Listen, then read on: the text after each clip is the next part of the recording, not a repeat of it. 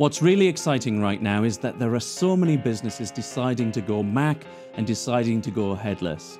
Businesses are deciding to move away from the monolith of the past and move towards more composable architectures. Although the principles of MACH and headless technologies are sound, and they're a massive leap forward in building modern day technology and modern day platforms, it doesn't mean that these projects can't fail. Like all technical projects, the choice of technology is often only part of an overall project success. So, after being in the industry for so long and seeing so many of these projects, I thought I would basically put together my five causes of why headless and MACH architecture projects fail. So, let's waste no more time, let's get to it. Reason number five the reason why many MACH projects run into trouble is that they do not understand that MACH architecture is a distributed computing architecture.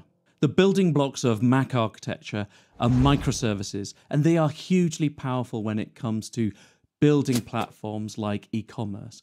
But when you're building platforms like e commerce, it could mean that you literally have hundreds of microservices from many different suppliers.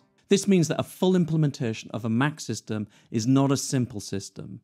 And although the implementation, the deployment, the development, the scaling, and the management of all of these services are done by the vendors, the complexity is in the joins. It's ensuring you get the glue right. It's ensuring you get data consistency across all of these services and all of these providers. It's ensuring that you have the right patterns in place for things like asynchronous calls and making sure that you have the right patterns that reduce latency across all of these API calls, across all of these microservices. Dealing with MACH architecture is more about service management than it is about real code management that you would have been used to in normal development. During my 10 years in agencies, I replace one e-commerce platform with another e-commerce platform, like moving ATG to IBM, moving IBM to Hybris, moving Hybris to Salesforce. Often the reality of an e-commerce platform replacement project is that you would end up with less functionality than you actually started with. And this was due to the sheer amount of complexity involved in building a brand new platform with a new technology. Scope is sacrificed to reduce the complexity and gain time in the delivery of the project. This approach of complete replacement and then flicking a switch at the end was often called a big bang approach. The problem is, with a monolith, it's very difficult to do an incremental approach.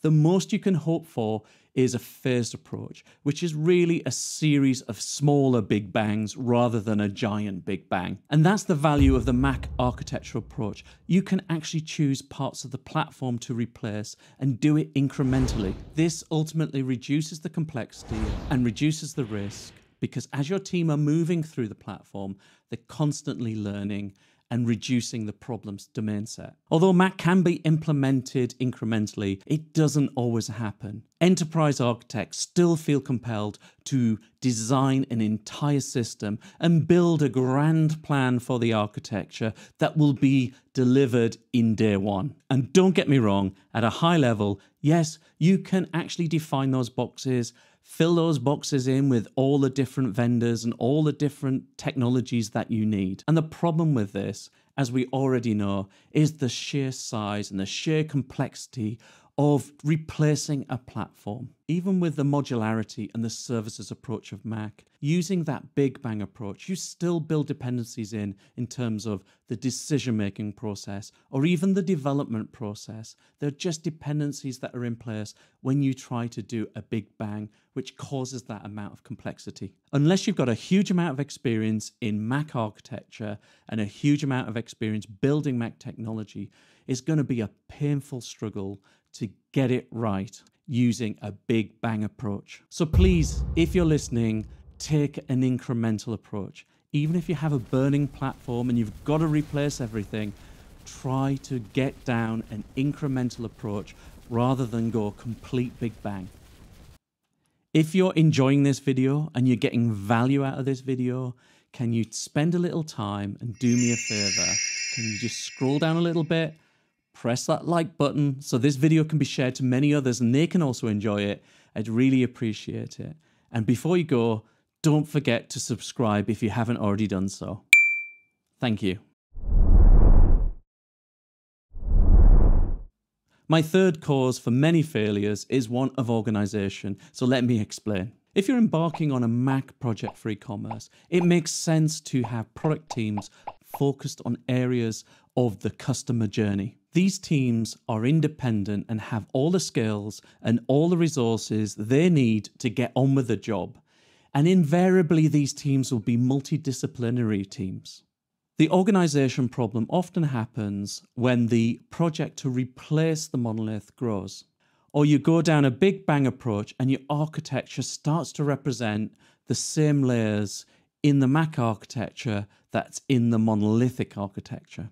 Another factor to consider is that of Conway's law. Basically, if you don't consider your organizational structure, your designs will start to reflect that structure and reflect the political boundaries within your organizations which means they won't be aligned to your customers and they may not deliver the business value you expect. Now, the classic problem I see with the platform replacement project is the platform replacement team. Usually, what this means is that all your product teams, the teams that are aligned to parts of the customer journey and aligned to business value and now dependent on your platform replacement team. You've now created dependencies between all of these teams. You then end up with a waterfall project and closer to a big bang approach. And that leads nicely onto my second cause for MACH architecture failures. The second most important reason for MACH architecture project failures, in my opinion, is the waterfall project. One of the primary reasons for this, which I've already outlined, is that instead of going down an incremental approach, you end up going down a big bang or a phased approach. Another reason why waterfall appears is when you have a command and control mindset to the overall project delivery. You can see this when you have product teams, but you're trying to enforce deadlines and KPIs rather than focus on things like time to value and MVPs. Eventually, what will happen in this scenario is that you'll end up with a project office with a program plan with lots of agile teams that are basically running in what we call a scrumafall. All that will happen is that you'll fall into the patterns of the past of sacrificing scope to reduce complexity and compromise functionality for timing and the ethos of continuously releasing small iterations and continually adding value to the project and to the platform is mired in the complexity of project management and project management workshops that are inevitably inaccurate. And I've seen this so many times. The business ends up with no agility, and the project development teams end up in a death march And here is my number one frustration, my number one reason why I believe that MACH architecture projects fail. And that is focusing on the technology and not on the business. There are reasons for the decision to go to MACH, and those reasons should be business reasons, such as a far better customer experience, delivering a consistent omni channel experience to every customer touchpoint, and the business to be ready for the future, be faster more agile, and be ready to deal with change. The reasons shouldn't be technical reasons. The reason shouldn't be because you want to modernize the technology, or you like the sound of MACH architecture, or you think the technology looks really cool. Going towards MACH for technology's sake is doomed to failure. The problem is that most projects start out with good intentions. They start out with a clear business objective. But as we've seen in the other four points, if the approach is wrong, things can go awry, and the focus of the project ends up being about replacing a platform, not about the original business objective of adding business value. The key is to always make sure that you focus on the business goals because MACH technology is just the enabler for those goals. I hope you find this useful and I hope these points that I've brought forward help you in defining your next MACH project Now, I really understand that there are cases where that you may be on a burning platform, that you may need to replace the entire thing, and the incremental approach and all the things I'm talking about might seem extremely difficult to do. And you might think, yeah, that's great, John. In a real world, that's what I do, but I can't do it now. But believe me, even in product development and the things that we do, it always seems like you can only do a big bang.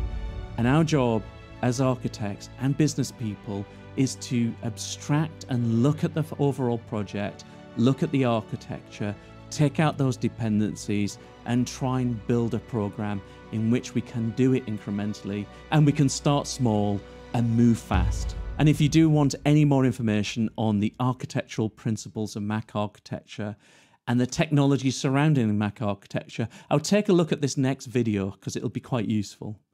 Or even this video here that uh, YouTube is suggesting. But for now, it's time to say thank you, goodbye, and I'll see you next time.